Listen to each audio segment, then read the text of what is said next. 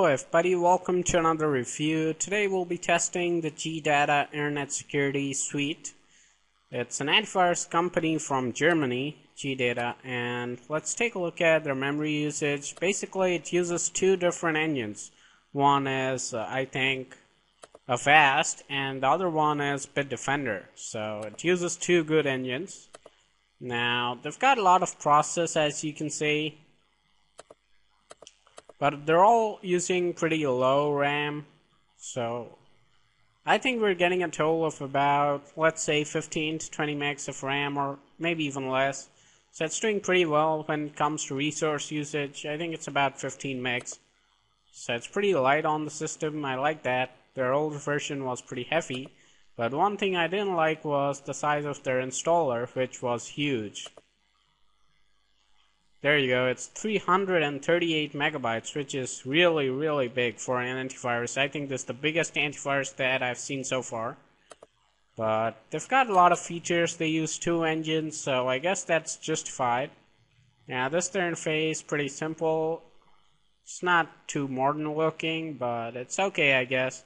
They've got a firewall, spam, web protection, and you can see our CPU load here. If we check the advanced settings, you'll see that everything is set to stock and their zero day component is basically the behavior monitoring. And you can see everything's just set to stock.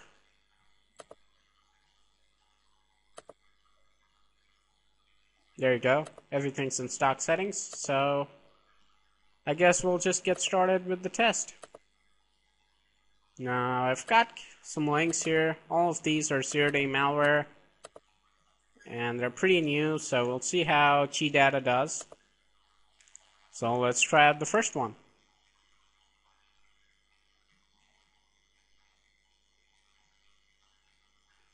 Okay so first one couldn't be opened.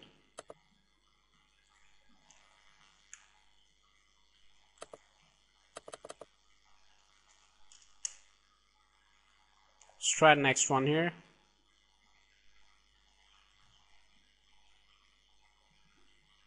Okay, now there you go. This one was blocked by their web blocking. It says that it's denied access. And it says that it's been caught by engine A as Win32 Tenga or whatever it wants me to say. There you go. It gives me a pretty simple alert. I like their alert system. It's pretty simple. So I think I've got 13 links. So even if we've got one or two that don't work, I think we'll be fine. So that's number two.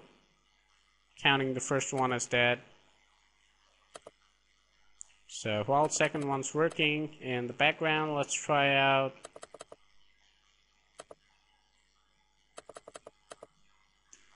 next one here. Okay.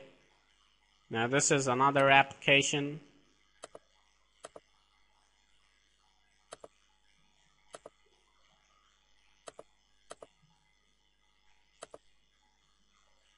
Looks like this one was blocked as well. Or maybe not, because I did get the file to run. Here we go, it wants access to my computer, and I'll allow it that.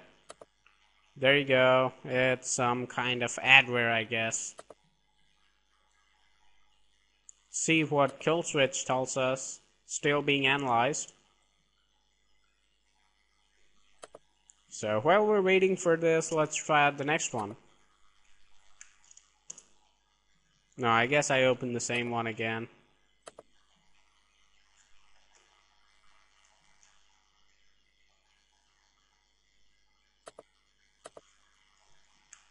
So here we go, this is the next one.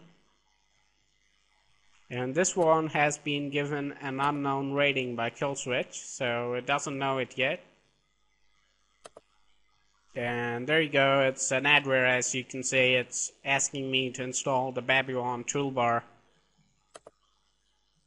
And it's going to automatically install and download and install some stuff. So I guess that's uh, fair enough to call it adware. Now this the next one, seems like some Trojan. Let's run this.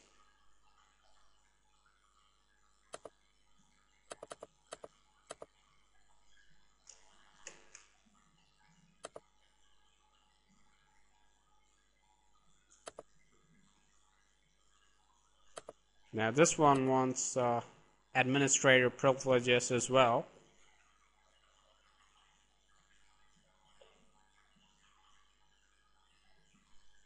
Okay, now it's being analyzed by kill switch, and there you go, it's covered up the screen. It's probably another piece of adware here.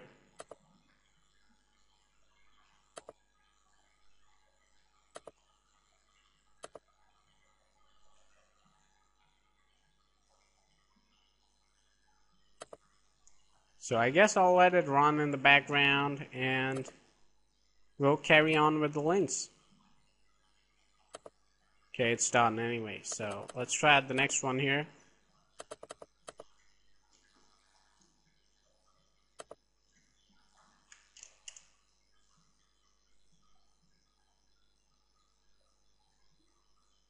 As you can see, the first installer, which is probably a piece of adware, is still running in the background. It's not there in the taskbar, but here you go, it's still running. And looks like this one was blocked as well by GData. There you go. Or no, maybe not. Run that.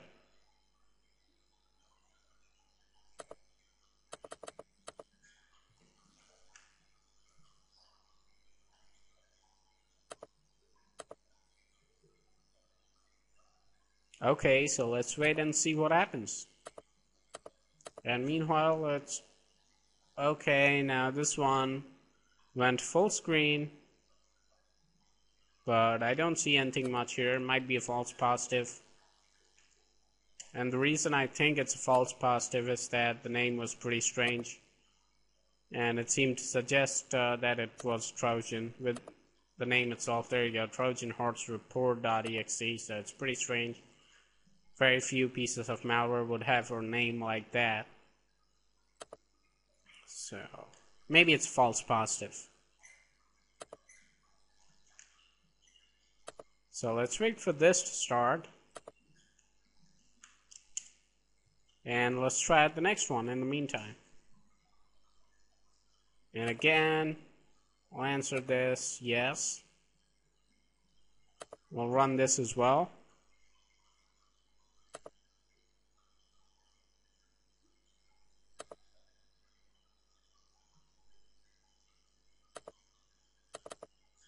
I guess we've got a lot of adware today. Okay, it's some adware again, I guess.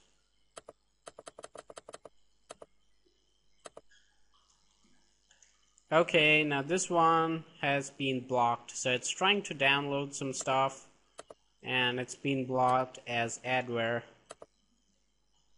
So I guess that's So let's try out the next one here.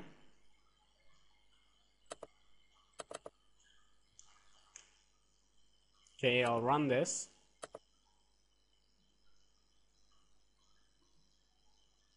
Okay, now this strange again doesn't look like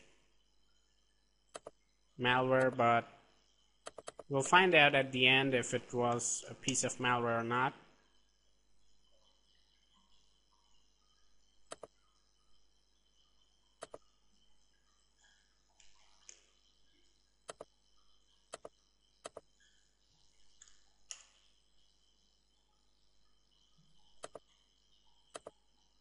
Okay, so that one, finally we've got this.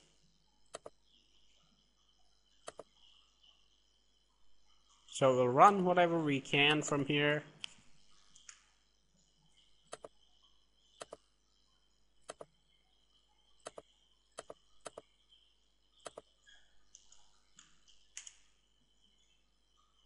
Okay, now there you go. This one's been detected. Okay, this one was blocked by their web blocking. Now, this setup has been detected as malware by KillSwitch, but it wasn't detected by GData. So, certainly we've got one piece of malware that's gone through here. But it did block this one right here. So, I guess we'll just carry on from there. This one was blocked, so we'll try out the next last one.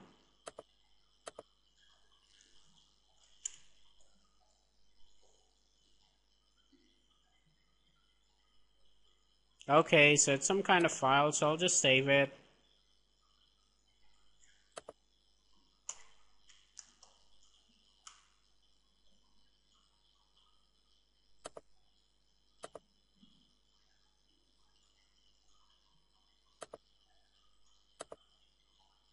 Okay, so this one, there you go. It's a piece of adware trying to install some stuff within its actual installer.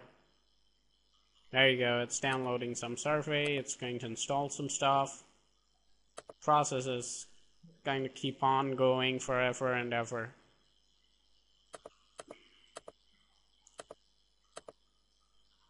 So right now, there you go. It looks like there's some kind of banker. Here we go.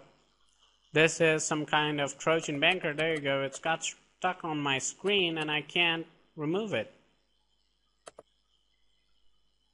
And looks like it's stuck on my screen pretty badly here.